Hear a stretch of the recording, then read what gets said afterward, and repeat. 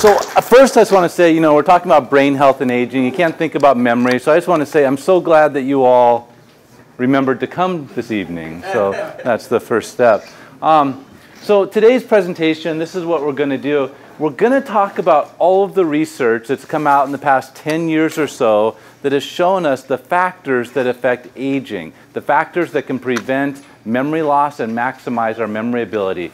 We are literally spending billions of dollars trying to find a pill to prevent memory loss, and nothing has even come close. And we thought there, there, was actually one clinical trial that we were all holding out hope on, and it was to catch Alzheimer's at a very, very early stage and break down some proteins. And the results were just in last week. It didn't work. So, eh, you know, we, so we were kind of coming, we thought we were coming close. Um, so we don't have a pill yet, but I don't think it's all that disappointing because when you look at this research, we have the answer. And so that's kind of the, uh, the thesis idea here. We're going to take a very holistic approach and look at a lot of different factors that have been documented to be associated with memory changes in older adulthood. And it's not all about older adulthood. This stuff is true in middle adulthood, and some of these factors might even be true in young adulthood. Um, so we can talk about that. But I want your help. What do you think these factors are? Besides age, what do you think determines a good memory ability in older adulthood?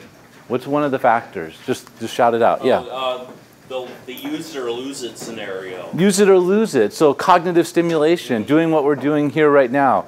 Cognitive stimulation accounts for about 15% of how much our memory changes in older adulthood, according to a study just published in the journal Neurology. So cognitive stimulation. What else?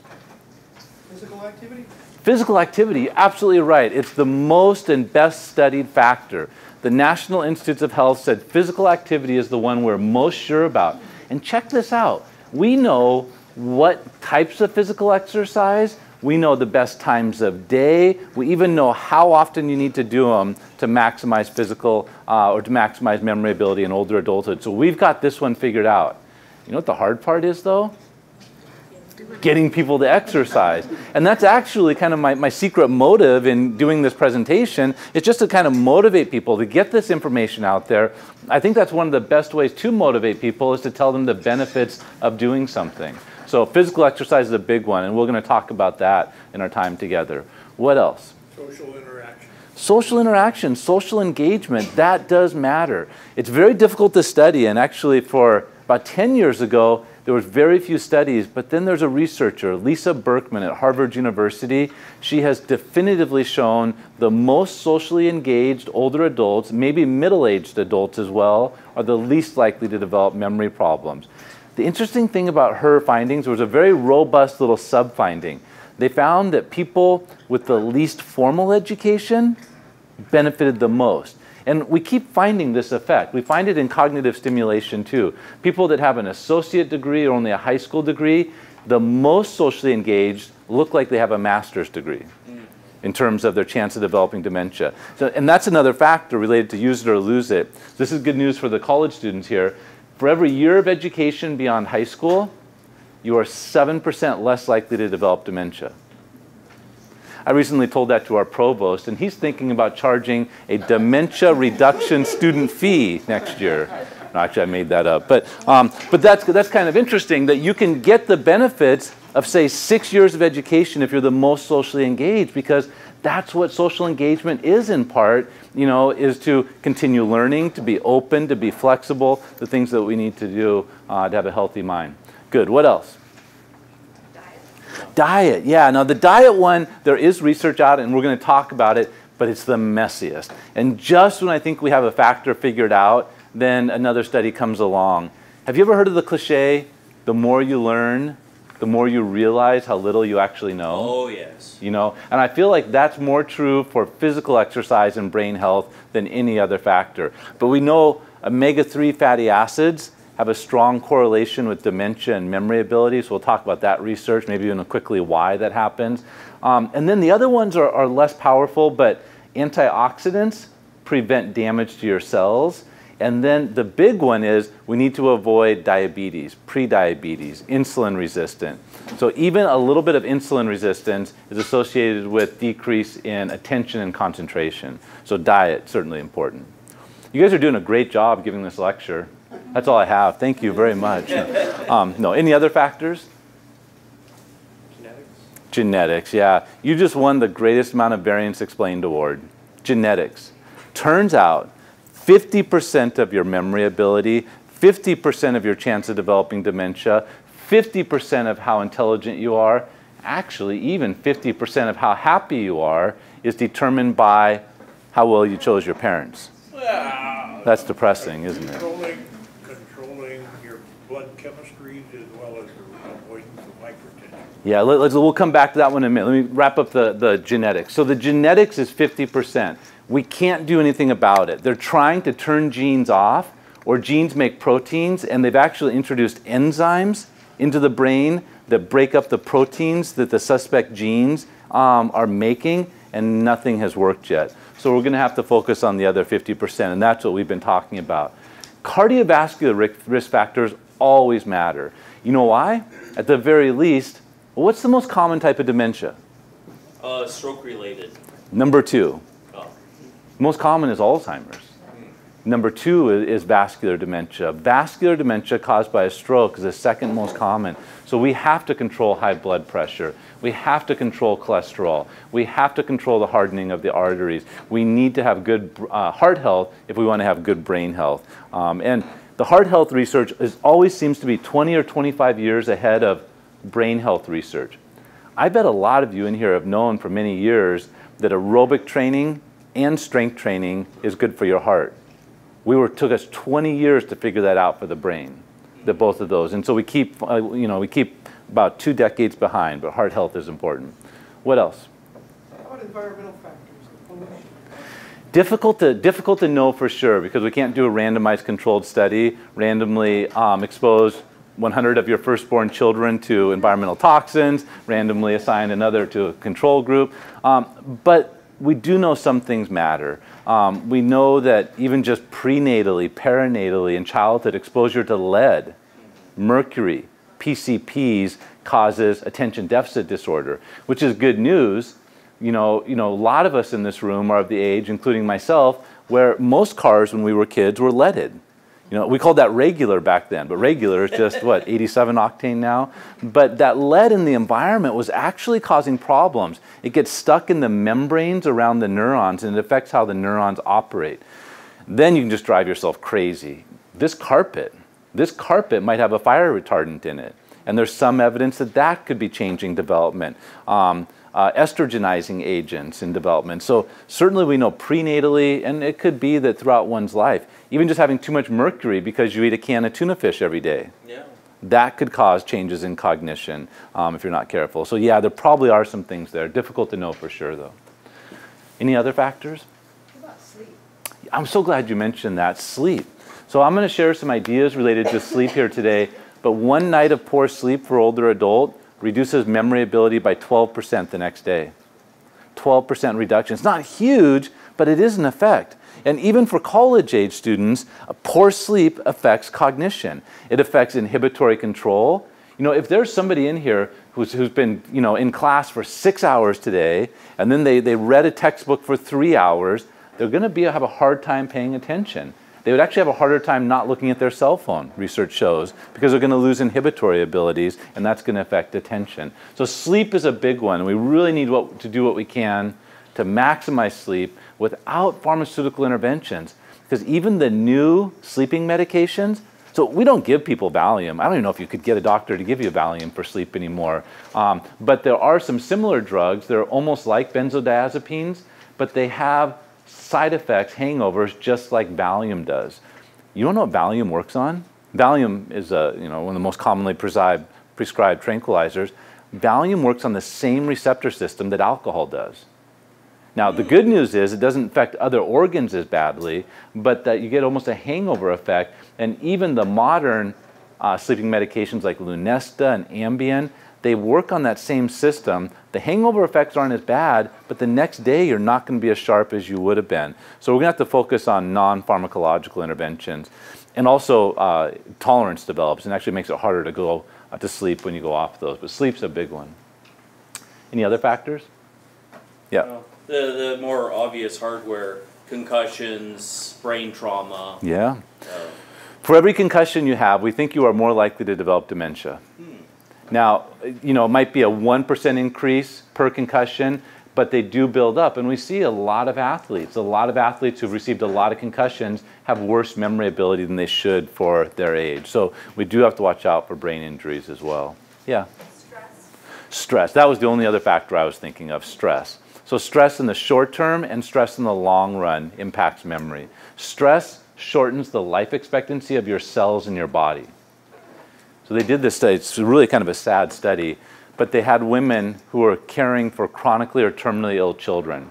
They were going to a hospital like Doernbecher's up in Portland. Um, wasn't Doernbecher's, but it was like that. And they, they were pretty stressed out, obviously. I mean, that's a, that's a really kind of a traumatic situation.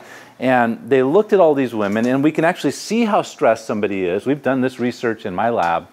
We can see how stressed somebody is by putting a cotton swab in their mouth and then analyzing the cortisol levels. Have you heard of that before? Cortisol? Cortisol is released when we're stressed. They did this to these women, and the top 10% most stressed out women in that population had cells 17 years older than they should have been. Their average age was 38, but if we looked at, we can actually age your cells.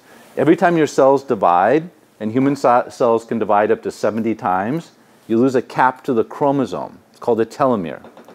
And, and when those telomeres are gone, that cell's done.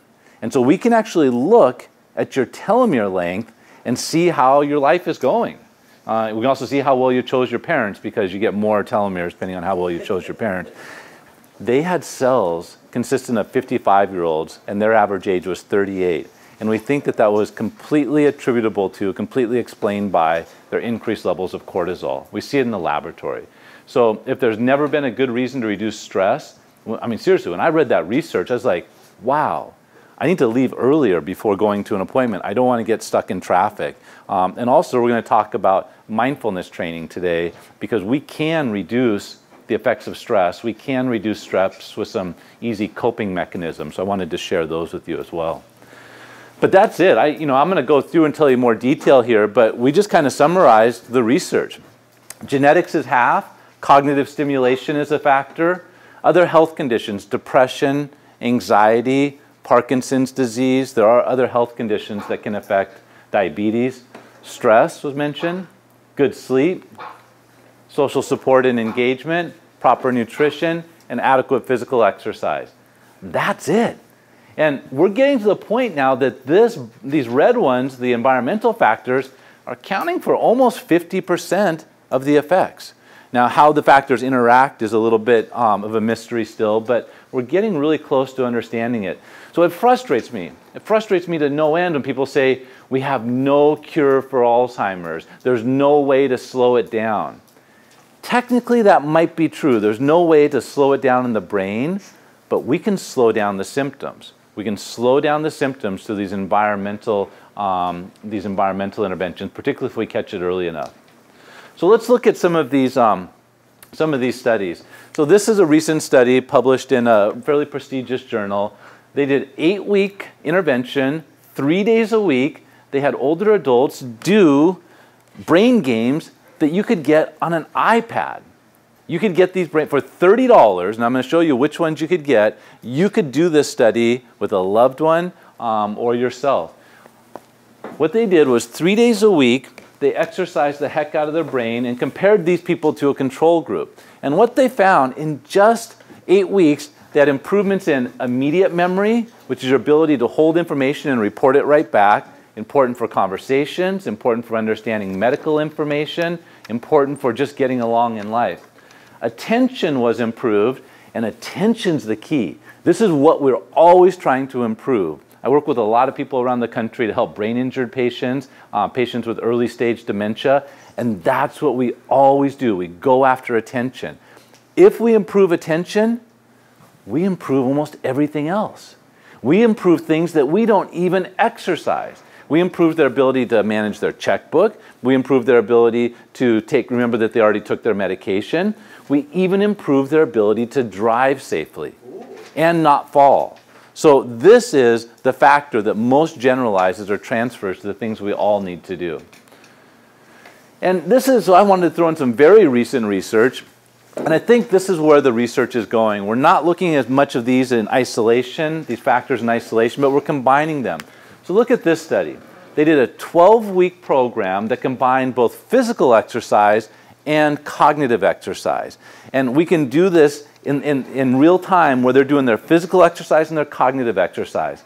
This is the hottest topic in geriatric physical therapy right now. And we actually have one of the leading experts here in Oregon, Mike Studer, the president of Northwest Rehabilitation Associates. Seriously, if you want to see a good physical therapist, he's in Salem. There's 200,000 physical therapists in this country. He's been twice named the best by the American Physical Therapy Association, and he's one of the leaders in dual tasking.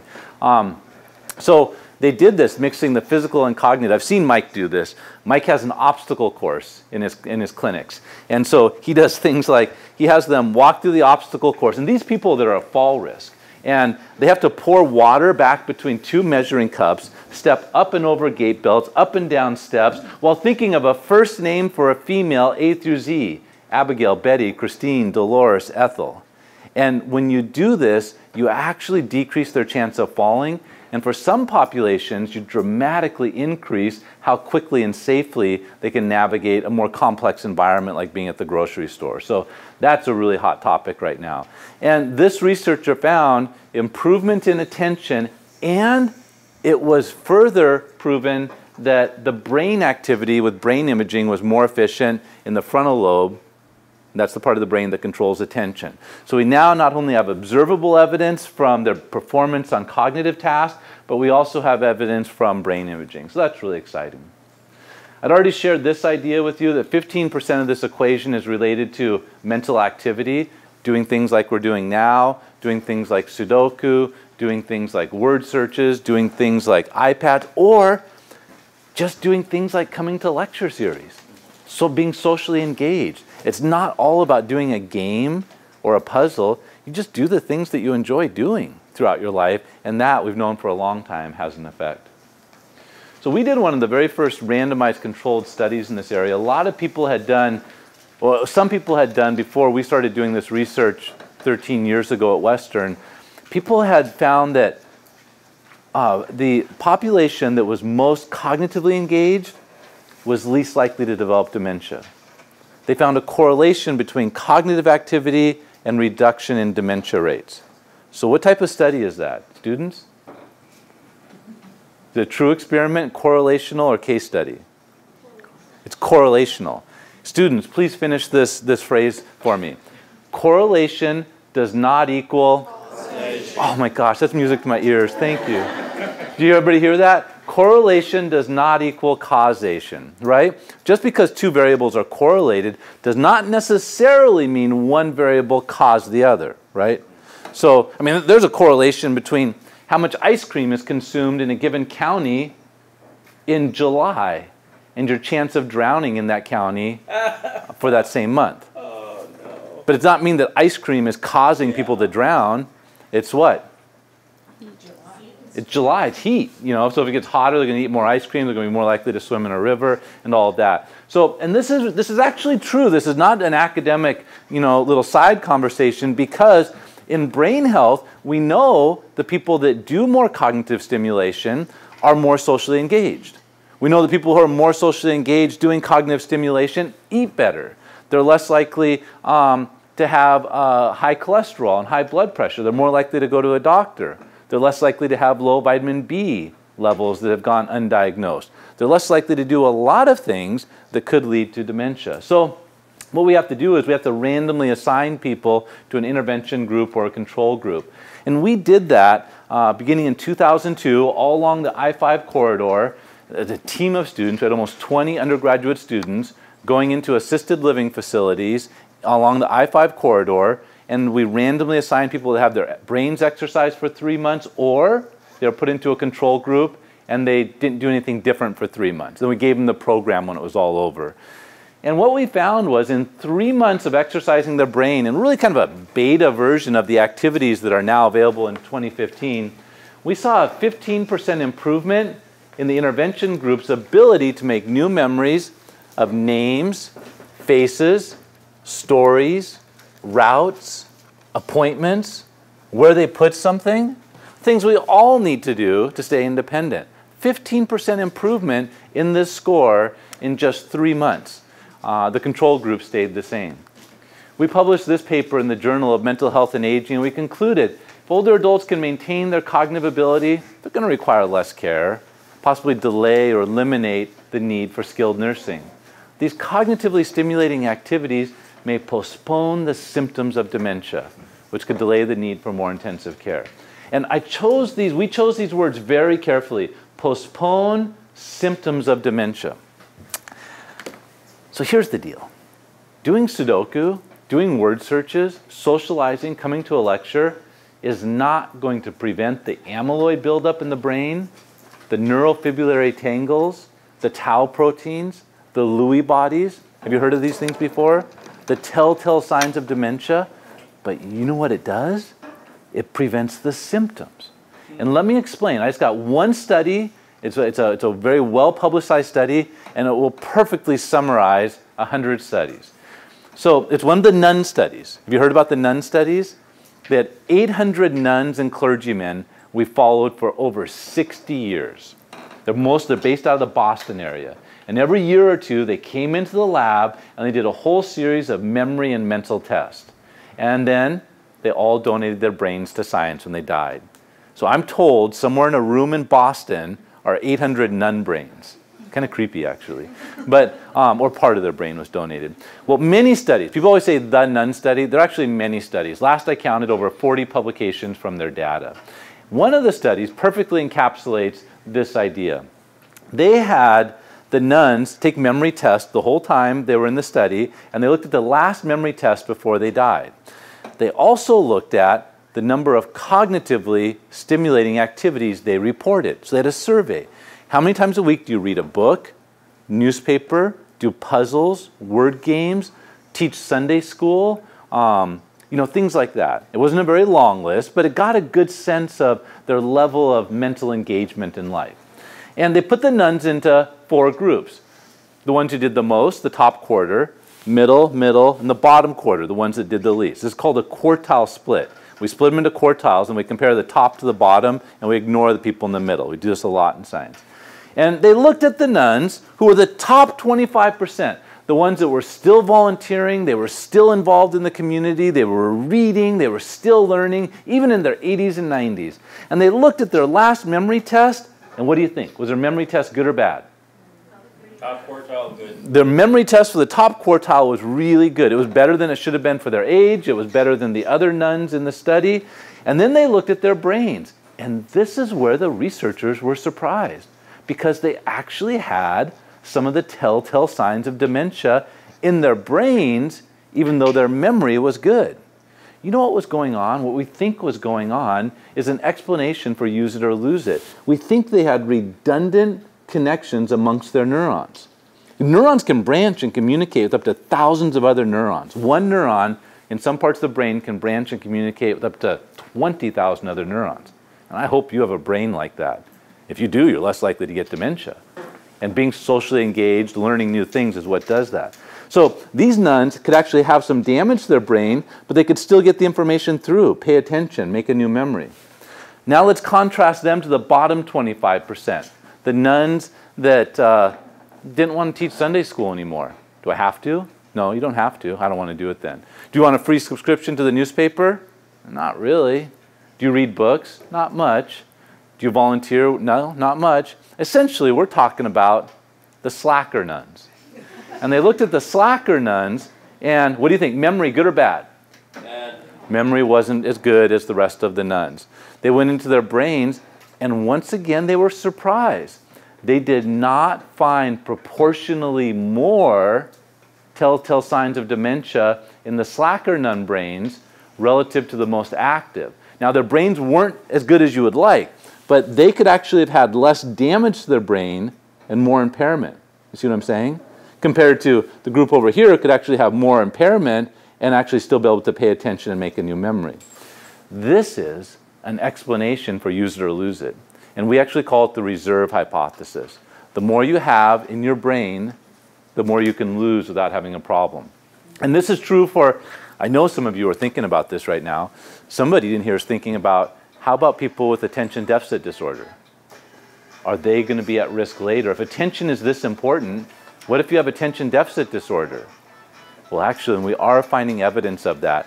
You know, people who are in their 80s and 90s didn't generally get ADD diagnoses, but middle-aged adults with attention deficit disorder are actually having more problems than they should for their age.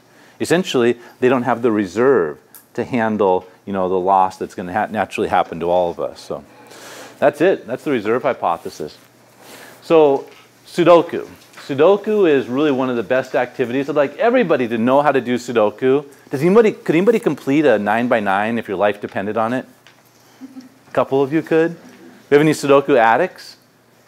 Good, good. Recovering addicts?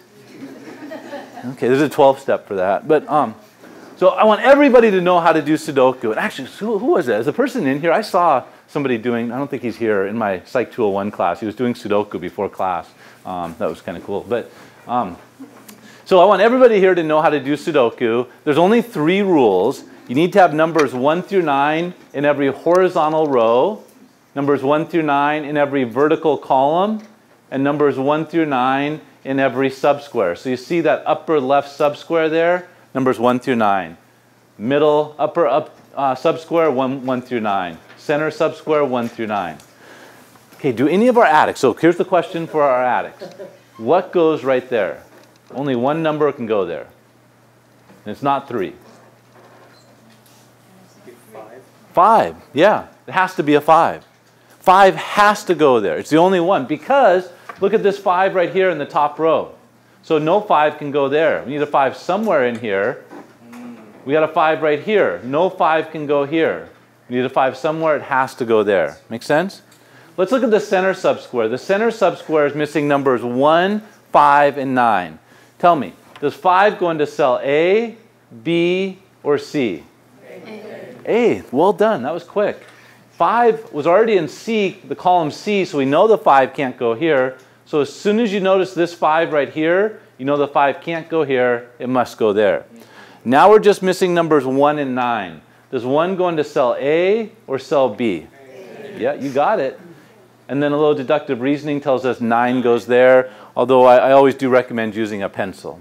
Oh, yes. right to left, what about up, and down? Yeah, so you would need to go up and down, you need numbers 1 through 9 too. Okay. So like right here, so what do we have? So very center, 1, 2, 3. So we're missing 4. We got 4 and 9. Four and nine. So where does 4 go? Cell A or cell B? Yep, I don't have that one to turn red for you, but yeah, all one through nine too. Yeah, you got it. And they're, they're fun and it's rewarding. It seems to be more engaging than some other activities we know that works well. Um, however, I think it's better to start people with four by fours, particularly if they're having a little bit of cognitive impairment. Um, so we start them with a four by four. Um, this is an easy four by four. And then we have six by sixes. And then they can go and get a whole book of them. And so I've actually made a lot of these for people, and it's just on my website, robwinningham.com. It's on the uh, article, Crossword Puzzles Are Not As Good as Sudoku Puzzles. I'm sorry, that's true. Crossword puzzles are not as good as Sudoku puzzles. And please don't argue with me. People just line up to argue with me after these lectures. I, I, I they do. Um, but research has shown this. Um, now, crossword puzzles aren't going to hurt. They're not going to hurt. But there's no evidence that they help. There's no evidence that they help. And let me tell you why. What do you do with a crossword puzzle? Like, what's the activity? You retrieve previously learned information. Retrieve. Have you ever known someone with early to mid stage dementia? Think about your conversation when a loved one or somebody you knew had early stage dementia. Their old memories are fine. I, I completely trust somebody with early stage dementia's memory of 40 years ago. I do not trust their memory of 40 minutes ago, though, right? You know, so that's the difference. Earlier stages of dementia are the inability to make a new memory. And it's an inability to make a new memory largely mediated by attention and concentration impairments. So that's why Sudoku worked. And I always knew that would be the case. And then an article came out in 2013 that showed something like crossword puzzles had no benefit on memory, but something like Sudoku, the worked attention, did. And I've actually linked that, that short article I wrote, um, which I highly recommend for those of you that are struggling or whenever you have a hard time uh, going to sleep, because it will put you to sleep. The original scientific article, that is. Word searches are good. This is a, be a really easy word search, but word searches do this too. Have you ever done that where you get a hard word search and, and you got that letter and then you, you try to find that you start the letter it starts with and you go through and never you find then you go around it. I mean that's actually that's perfect. It's not as fun as sudoku but that's exactly the type of thing that improves cognition. To have sustained attention don't become distracted stay focused do a visual scan as fast as you can. That's what we all need to do to exercise our brains but you got to find fun ways to do that. But that's exactly the part of the brain you want to improve so this stuff is ubiquitous now. Um, you can get books of word searches, you can get books of anagrams, you can get books of Sudokus, you can get the apps, and I'll share some of our best apps with you. So there's no excuse. Um, I mean, just go to the dollar store. You can get a whole book of these things cheap. They cost like, well, a dollar actually. Um, and, uh, and you're good to go. So let's talk about the apps because the, this is a game changer. It used to cost thousands of dollars to get software as good as you can get for 20 bucks now. I'm, I'm not kidding. There were a lot of uh, uh, rehab settings, retirement communities that literally spent tens of thousands of dollars. The best ones spent tens of thousands of dollars for what you can get for $25 if you have a tablet now. Uh, and I'm not joking, I'm not at all exaggerating that. It might even be better than what you could have got. And so we did um, Oh, I don't have a picture. Oh, I, I took a picture out because you might know them. I, I usually have a picture of some people at Capitol Manor um, down the road. We did a feasibility study, but I thought somebody might be here, but nobody is here from that feasibility study. Um, so I took the picture out though. But anyway, this is, these are the apps that we like the best. And so I made handouts for everybody um, so you could see these if you want to try these out. FitBrains was my favorite. So FitBrains is a subscription service. If you get it wrong, it gets easier. If you get it right, it gets harder and there's many different games. It, it, I think it's the best. More people have heard of Lumosity, and Lumosity is good. I think it's the second best in my opinion. Um, but I think FitBrains is better. Rosetta Stone, it's so good Rosetta Stone just bought it, the language learning company. Um, but there are a lot that are more discreet. Has anybody ever been addicted to Tetris?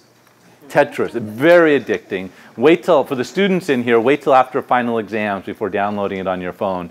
Um, it was developed by a Soviet computer scientist in the 1980s, and I always thought it was just a ploy to reduce the educational achievement of American university students. Um, I got addicted to it in 1992. Um, Sudoku 2 is my favorite uh, Sudoku app, and I'm going to show you a couple of others. Memory Block um, is one of my all-time favorites. Memory Block is something that uh, will look familiar to some of you. So go to side screen.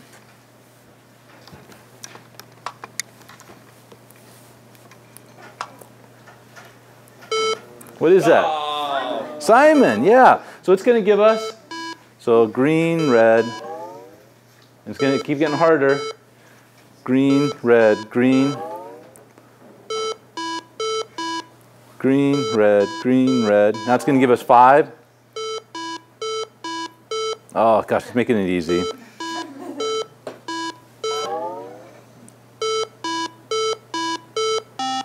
Okay. Oh, what do I do next? Yellow. there you go. So you don't need to watch me play Sudoku, but or uh, Simon. But this is called memory block. Um, so it's going to cost, I don't know what the cost is, 99 cents, $2. I'm usually willing to pay the extra dollar not to get the ads. They're kind of intrusive when you have when you have a choice.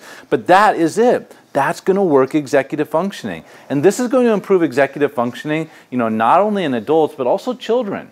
So, I mean, this is important, I think, to think about some of these apps, if they're done right, to enhance executive functioning and attention um, uh, in all of us. All right, so we have that.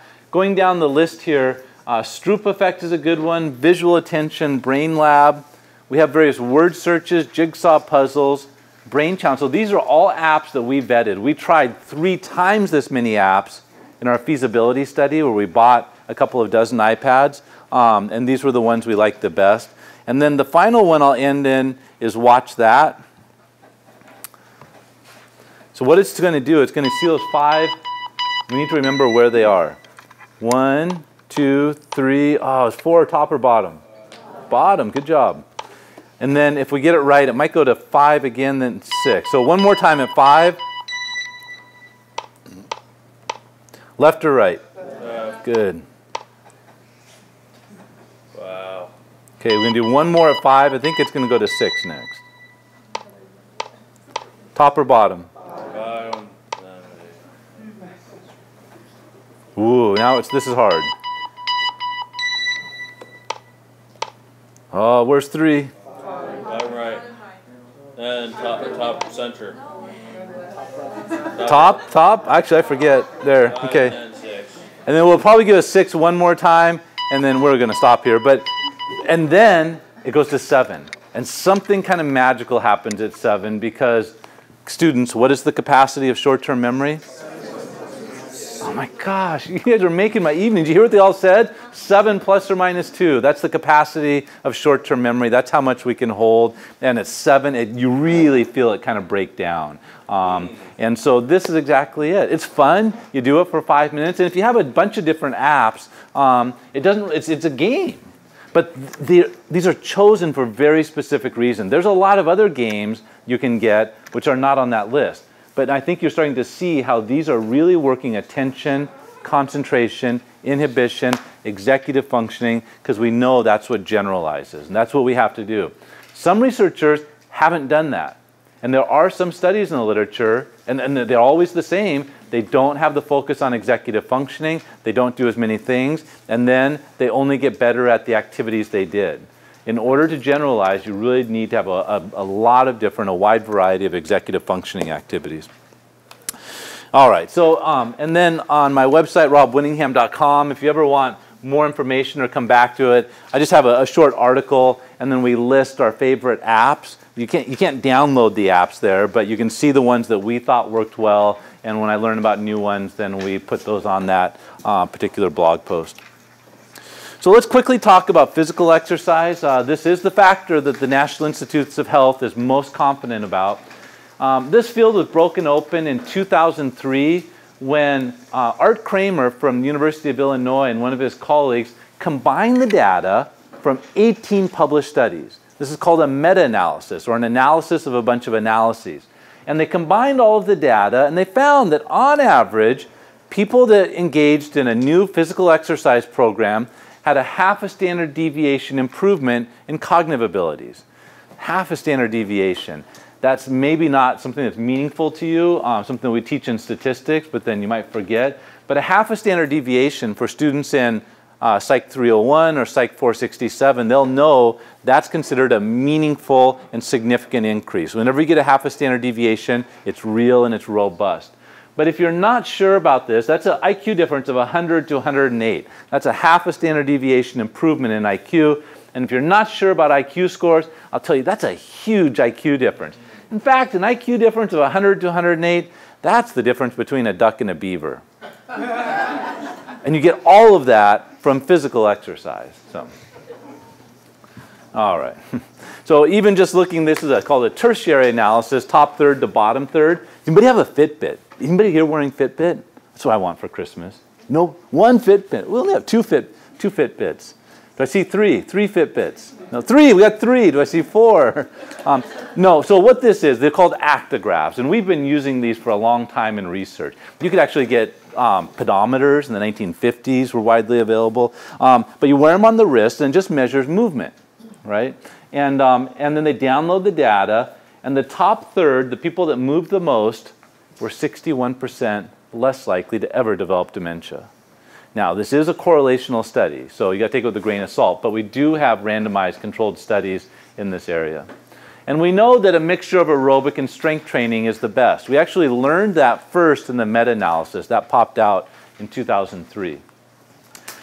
This is the study that I'm most excited about from the past five years.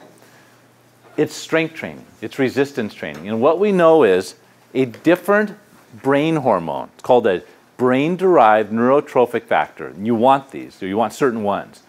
Different brain derived neurotrophic factors are increased for aerobic training versus strength training. And what and so most people have been exercising, walking, jogging, doing an elliptical, maybe a stationary bicycle, something like that. But actually, you get an independent, or what we say an orthogonal benefit by doing the resistance training. It's a different mechanism, and they both lead to improvements in executive functioning. So this is the lab that's done most of the research, and um, she reported that once a week resistance training for a year led to an 11% improvement in attention. That's it, attention. Twice a week was only 13%. So these people got most of the benefit for once a week. Now, unfortunately, you know, I look out the college students here, unfortunately, this does not seem to be true for young adults. This becomes true in middle adulthood, and then the older we get, the more true it becomes. So they've even said people 75 and older, it improves their memory more than people 60 to 75. And then, and then, you know, it improves people in their 50s, but not as much as the others. So sometimes students will do experiments. They'll have people just lift weights or run the track to see if it improves their memory ability, and it never works for college students. So don't do that for your Psych 301 project. Yeah. When we started the class, you said that there were better times of day. Yeah, so yeah, when I first opened, I said we even know the best time of day. So they have found that for women, exercising in the morning was most effective um, when a number of things. It actually helped them fall asleep quicker at night, um, and it led to better improvements in memory. Um, there could be what we now know about sleep is that there's morning people and, well, you actually knew this your whole life, but now scientists are studying morning people and night people. Um, and so there probably is some variability there, but morning is, seem, does seem to be the best.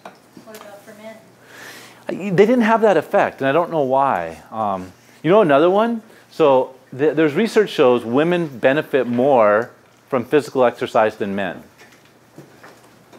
And there's biochemists devoting their life to figuring out the chemistry of this. I think they're on a fool's errand, though. Have you ever seen women exercise? Yes, What do they do? sweat. They sweat. they, they talk. They're with their friends. Some do. Some do, yeah. So women, on average, I think, are more likely to socialize. That's what my wife does. My wife doesn't exercise alone. She exercises with her girlfriends. I don't think she would exercise by herself very much, you know. And they, you know, so maybe it's the social engagement that does that. Um, I don't know. Could be. All right, so physical exercise, um, aerobic training and strength training. So I, I don't know, I hope that's motivating. So for the college students, the motivation too is um, it will actually help reduce stress and anxiety, and that will help improve memory. So there is a, a reason to do this in college students, but I think all of us should get more of that. So the, in terms of diet, the one thing we do know we have pretty good evidence on is good fat. I love it. Good fat. Good fat. It's kind of an oxymoron, isn't it? Do you know any other oxymorons? Government efficiency. What is it? Government efficiency? I wasn't going to say that and all, but okay, since you did. Jumbo shrimp? A precise estimate? Any more? Pretty ugly? My final complete rough draft? And good fat. Anyway, this good fat, is actually, it's in a lot of foods. And people often focus on the fish and the nuts. It's actually in a lot of different foods, just in different proportions.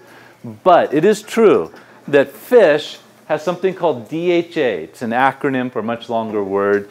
Um, DHA is only found in fish or a marine algae, and DHA has been most consistently linked to improved cognitive functioning compared to other aspects of omega 3 fatty acids. We know that individuals who have lower levels of DHA are less likely to have dementia. Um, we know the more fish people eat, the less likely they are to develop dementia. So let's do the study now. We'll replicate this study. Raise your hand if you eat fish once a week or more or take fish oil supplement. You are less likely to get dementia compared to people who are not raising their hand. Hmm. That's what the study found. Does Now- it matter whether it's farm raised or wild, or is it DHA in all of them? So does it matter if it's farmed, raised, or wild? The so we think that the DHA is an antifreeze. Ah. And so if it's a pen raised salmon, for example, it's not going to go really deep. But the wild salmon is going to go deeper, so it probably is going to have slightly higher uh, levels of some omega 3s, is, is the thinking on this. But I would actually be more concerned about, um, and we never know this, this is not something you can easily figure out, but wild, so what do we feed them? We feed them food pellets. Where do we get the food pellets from? We get them from coastal fish, fish that's fairly close in, can be more likely to have pollution in it versus the salmon that's eating halfway between here and Hawaii. And so, so in some sense, I think we'd be more worried about the mercury in that. Um, but most fish, even shrimp, which has almost no detectable mercury in PCBs, even shrimp still has DHA, but it's just in varying levels. Like the cold water cod is one of the highest omega 3s, so they, they do differ. But they also differ in terms of their um, toxin levels. So this is, uh, seems to be an important factor. And here's a more recent study, really an amazing study. I mean, if you think about the undertaking this study would, be, would, would um, require, they looked at 15,000 people in Latin America and Asia. Why do you think they went to Latin America and Asia to do this fish study? Oh, the fishing coasts. A lot of people in these parts of the world eat fish every day. And they found those people that ate fish every day, and they were 20% less likely to ever get dementia compared to those who ate it only three days a week. But don't feel bad if you're a three day a week eater, because you'd be 20% less likely to get dementia compared to those who rarely eat fish. Um, so it does appear to be dose dependent. Be smart about the fish you get, though. I, I, I know, knew a gentleman here in town. He actually had the longest running business in Monmouth. He was a widower, um, and uh, uh, he used to run the dry cleaners. And uh, he told me, you know who I'm talking about? Jimmy, Jimmy Young, and uh, just a really neat guy. And uh, and Jimmy Young, he told me his secret. So he ran the dry cleaners for 50 years here in town, and then moved to Independence when he retired at 90. He retired at 90. Um, and he had a girlfriend. I shouldn't be telling you too much information now, but um, but anyway, um, he had a can of tuna every day, and he thought that was his secret. But he pulled me. He always called me Doc. He said, he pulled me aside, Doc. He's like, he's like, but I gotta tell you, I had to switch to the white flaky. Well, why? Well, there's too much mercury in the in the uh, in the albacore, and uh, and I got mercury poisoning, and I couldn't think so well. Now, now, so that can happen. You know, so white albacore is a bigger fish, and the mercury goes up the food chain. The cheap stuff is actually lower in mercury. You know, so you just have to be smart about it. You can have halibut, you can have the big fish like the the the ahi tuna, but you do want to be careful. You don't want to eat it every meal. You probably don't want to eat a large chunk of it every day. Omega, or fish oil, taken three times a day decreases your cholesterol rather significantly in many people. Yeah, so the comment is um, so a fish oil supplement taken several times a day could decrease cholesterol. Um, th- there's a couple of things going on there. One, it, it actually increases good cholesterol. That's, that's usually the effect we see. Um, but so it can affect your cholesterol profile in, in a good way. Um, but here's the deal, and I just want you all to know this because I've been following this, this really close. We even published a paper in the journal Nutritional Neuroscience about this. Too much fish oil can actually, actually lead to damage to your cells. And I think this is something that the medical community really needs to come to grips with because people, when their cholesterol is way out of whack, we tell them to take a whole bunch of fish oil. But it's actually a peroxidizing agent. So a study was published in 2009, and I don't get the sense that a lot of doctors know about this study, but it actually damages the cells. And then I got one more bad news. I thought this was the magic drug, nutrition, and then it changes. Two studies report that it increases prostate cancer risk in men in large doses. And I recently told this to a bunch of uh, geriatric MDs in Sunriver. There was a conference, and I was like, "What do you guys think?" They're all MDs, mostly, and there are nurses there. And then one um, elderly um, geriatric MD, and he stood up, very formal, and he's like, "Well, all of these men in this room are going to get prostate cancer if we live long enough. I'd rather have prostate cancer and deal with it than have dementia." And he sat back down. Yeah, yeah, yeah, yeah. So, The incidence of prostate cancer is hundred percent at age ninety. yeah, exactly. So if we all live long enough, we're all going to get it. But it does seem to. Dose of fish oil. The dose of fish oil, most of the studies, actually OHSU's done more studies on this than I think any other university. And they usually use 1,000 to 1,200 milligrams. And that's about the size, like if you get this, it comes at Costco, it's 1,000 to 1,200 milligrams. But the study on the peroxidation, 2,400 milligrams, led to peroxidative, da- peroxidative stress in the cerebrospinal fluid. So it looks like just one, but I know some doctors are prescribing more for cholesterol profiles. Really, it's hard to know. There's always seems to be a give and take. Uh, Is there a difference between just taking the oil, like a, you know, versus the supplements or? okay. Yeah, so the difference between the oil and the supplements, um, we make the assumption in the science that the oil, the fish oil supplements, is the same as the actual fish. But I think that's a, an assumption that we could challenge. There's no study that I know of that knows that, that says any different. Um, but does it denature over time? But I mean, um, so I grew up in Iceland and we, uh, you know, we just have cod liver oil, you know, every night, but it's in bottles Yeah. so. it's a little bit more. So cod liver oil versus the, the oil from uh, a tablet, I don't know of any difference, but it does denature over time. So we actually worked with a biochemist from the food industry, and we reviewed every study in the area. A student did a thesis, um, and, and he brilliant man. So PhD in biochemistry, retired from the food industry, um, and he worked with us, and he said, actually, we got it. We should be refrigerating oil. And I, and I know you don't refrigerate oil, but he thinks we should be. He refrigerates all of his oil, and he's a brilliant man. He actually predicted that peroxidation effect before that study even came out. He, he said, This is going to be peroxidizing. You don't want to take too much. Then a year later, a study came out. Brilliant man. So he, they refrigerate all their oils. And, and if you know this, if you ever smelled like oil, I mean, I, always happens in our house. You know, you could buy a big bottle of it and you just smell it. I mean, it's that terrible. I mean, if you bake something with it, it's awful. That, at that point, that oil could actually be damaging. So you got to get it fresh. And so I'm that annoying person. Do you do that at the grocery store and you get milk? I shouldn't admit this in front of so many people, but you go to the back and you get that one when the front date's about to expire. I do that at Costco for fish oil. Mm-hmm. It's also, and, and then we refrigerate it. And then we, we, we bring some out. You get a lot of vitamin D in cod liver oil. Yeah, yeah. And there, there would be other good things about having the liver versus just the oil from the whole fish. So I don't think that there's a study on that, but comparing the two, but there are studies showing the cod liver oil has similar effects. All right. So there's also evidence, and OHSU's published some of this, that the fish oil supplements can reduce depression.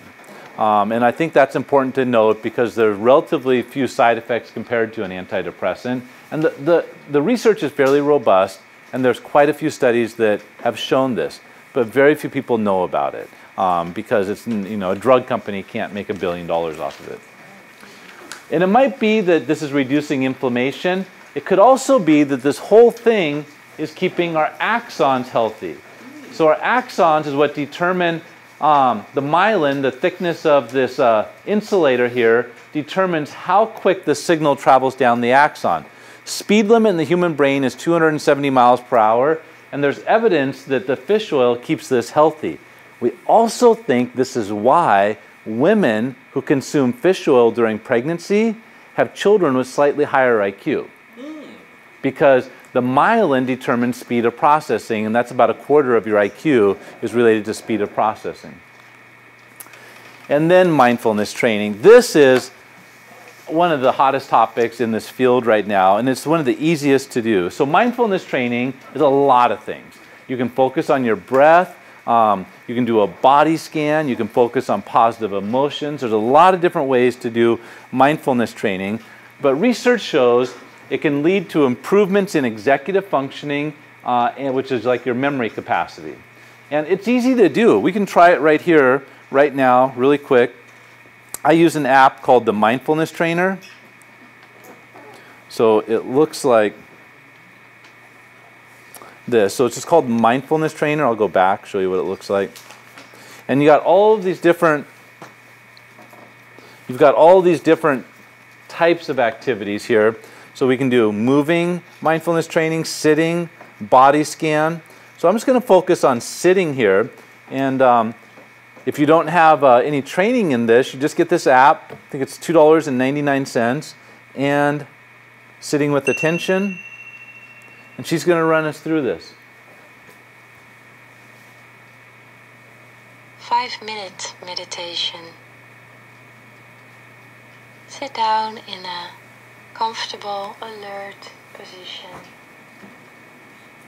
Let's take some time to sit with attention for five minutes. All right, I don't want you to fall asleep on me, so we're going to stop right here. But this is it. So, literally, hours upon hours of an expert teaching you how to do this. Research shows that leads to improvements in working memory capacity and executive functioning. And this is something that everybody in this room could benefit from. Do you want to be more present? Do you want to not think about things that are intrusive? Do you want to turn off negative emotions? Aren't there times where you know you're, you're mad about something you don't want to be mad, you know, or you're sad, and this is not the time to break down over it. Um, this is, or somebody cut you off, and you don't want to be that person on the road. This helps with all of that. Um, this allows us to control our emotions. This also allows us to control our attention. And if that's not enough, research shows it'll make you funnier. seriously, seriously, there's research that shows doing this, and, and you know it before. Have you ever done that where you have this, the, you know, you're having a social interaction, and then 15 seconds later, your mind was sort of half in, half out, and 15 seconds later, you think of that really funny thing to say, but it's too late, and you can't bring the conversation back to say it? Well, you'll be more present, you'll be more able to say it, research shows. So, and if that's not enough, it can lead to um, decreased chance of falling in older adults because falls and attention are very much related. So that's the, uh, the app. And I think uh, that's in your handout, isn't it? I, I wanted to have that so any of you could find it. There's certainly other apps. It's, I looked around. It's the one that I like the best. Um, she has such a soothing voice. What's the cost? $2.99. All right, our final topic here sleep and memory. Older adults spend more time in bed than younger adults, but unfortunately, older adults actually get less sleep. About 9% of people between the ages of 20 and 30 have diagnosable insomnia, but that number goes up as high as some estimates 50% in people 65 and older. So, this is really kind of an issue of aging. It's unfortunately a fairly normal part of aging, um, but it can lead to some really serious side effects. So there's a scientific study or more for every single one of these factors. And I'm not going to read them to you, but you can read them yourself. But insomnia or poor sleep is associated with all of those things. This negatively affects quality of life. And in my opinion, and I think opinion of other cognitive neuroscientists, we've gone way too far on this idea that getting by on four hours of sleep is almost macho. It's almost indicative of the Protestant work ethic. You, know what I'm talking about? You've seen this, we've all seen that. We've taken this too far. This is damaging our lives, getting four, five, six hours of sleep. But unfortunately, some people are having a hard time getting more sleep and better sleep. And so, you know, you know this. You knew that sleep was lack of sleep was going to cause problems, and it also affects memory. Insomnia can lead to memory impairment. So this was the study that I cited earlier that poor sleep, a, night, a sleepless night, decreased the ability to recognize the right answer from 86 to 74 percent. I would translate that to a 12% reduction in memory, at least for that type of memory ability. So, I'm going to end this with 15 non pharmacological sleep interventions and recommendations. I didn't make these up. This comes from mostly from the sleep specialist. I kind of just put my own twist on it. The first thing is, when possible, try to keep regular hours. You know, and I think for college students, that's hard. You know, you're, you're having all nighters, you might have a fun night out plan. Um, but if possible, if you're struggling with sleep, try to go to bed, get up at a similar time. And you notice when you do that, I'm pretty regimented.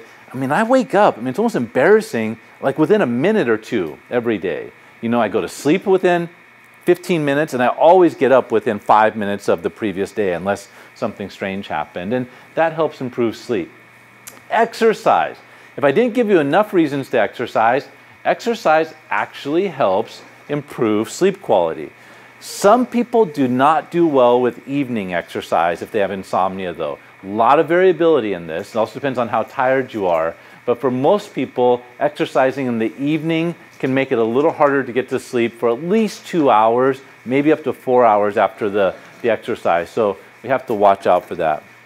One study found that a four month exercise program led to improvements in sweet sleep quality, time it took to fall asleep, and duration of sleep. So quantity and quality. Number three, and, and I took this directly, they always phrase it this way, and I find it funny. They say, don't drink too much alcohol after dinner because it's going to impair the quality of your sleep. So I guess the takeaway is you need to get all your drinking in before dinner. Um, avoid nicotine and uh, caffeine. You knew this, you don't need a slide to tell you this, but both nicotine and caffeine will reduce how long uh, people stay asleep. Um, one study found that caffeine consumption after 4 p.m. reduced sleep time from 6.9 was the control group that drank their caffeine before 5 p.m. 5.6 hours was drinking caffeine after 4 p.m. So, and I think we all know that, but it's uh, support for that idea. This is one, I, I think this is really important for us to talk about real quickly because this has changed. 10 years ago, you could have gone into Salem Hospital sleep clinic, and their brochure would have said, don't nap. So their sleep quality brochure would say, don't nap.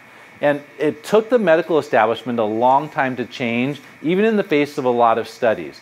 So this is an area I've even written, wrote a book chapter about this and read all of the research. And we know that napping improves or increases the amount of time sleep for a 24 hour period, and it decreases the amount of time it sleep at night just by a few minutes. So overall, you get more time in a 24 hour period. But I think where this came from, you know, often there's a grain of truth, even in old wives' tales, there's a grain of truth, because people got messed up. If you take a three hour nap in the middle of the day, that's going to really mess things up. Uh, my youngest child is five, and my wife and I, we always kind of freak out when he falls asleep at like 5:30 p.m and we can't wake him up and it's 7.30 we know our evening shot right? I mean seriously i mean then we start dividing up the night. Okay i'll take till 1.30 a.m no i want you to take it till you know anyways but start negotiating that because you know the sleep is going to be messed up. So we want the naps to be relatively short. There's some variability in this but there's two types of naps. One's the power nap and there's research on this. Power nap is a 20 minute nap you're going to probably go into just alpha wave sleep and that improves visual vigilance.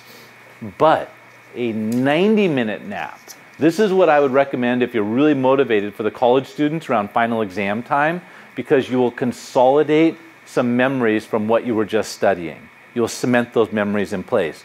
But you need to set an alarm and you need to be very motivated because you know what's going to happen? Hmm. Sleep momentum. That's our term for it sleep momentum. So you'll do that and you're like, you're so tired that you actually go into a second round of sleep cycles after 90 minutes and you might not be able to, to wake up.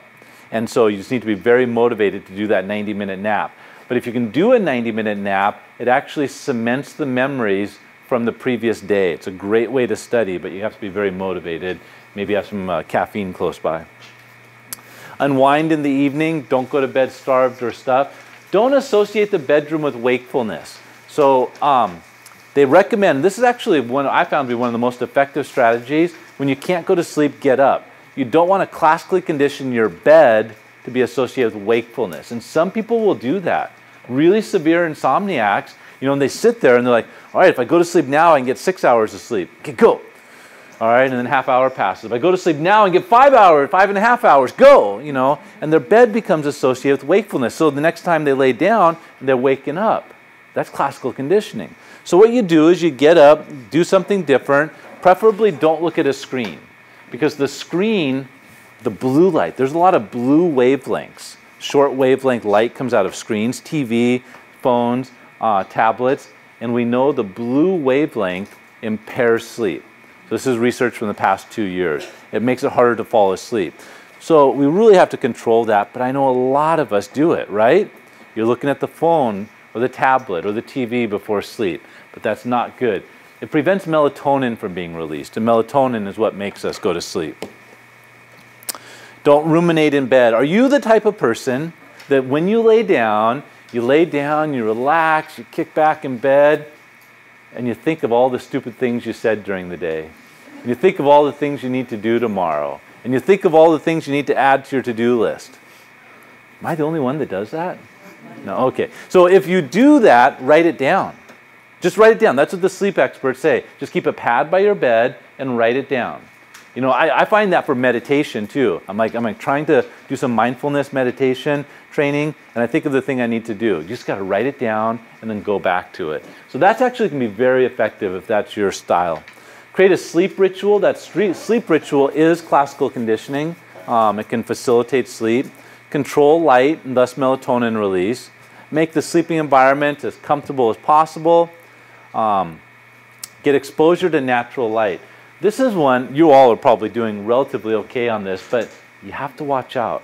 We're entering the time period where it's hard to get a lot of natural light. And natural light is what regulates our night day cycle. We are probably doing okay. We'll be a little bit vitamin D deprived come February, unless you go out of your way to get exposure to light. But you know who is really struggling? People in skilled nursing people in assisted living. Research actually shows now, and you don't get it through you don't get it through the window. Windows actually filter some of the UV spectrum. Like, have you ever seen a child with uh, jaundice? You know, and you need to actually do give it light. You need to give the child light, but you can't give it light through a window. It actually has to be direct sunlight, or they actually have some special lights they've made for them. Um, so the same is true for this. 20 minutes of direct sunlight for a skilled nursing population. They actually wheeled them out, had them in direct sunlight for 20 minutes. Their sleep improved. Mm-hmm. Their sleep, all of the measures of sleep improved. So, and we think it's because of ultimately melatonin release. So that was a lot of stuff. But I hope you agree. Although we don't have a pill, we don't know how to change the genetics, the other 50% we understand. It's clear that participating in these cognitively stimulating activities is associated with a decreased likelihood of developing dementia. Proper food, physical exercise, resistance training, you know, that's just 10 or 15 pound weights, uh, aerobic training, mindfulness training, good sleep. All of that matters. You put that in, and we have the prescription. We have the prescription for better brain health. That's all I have. Thank you very much.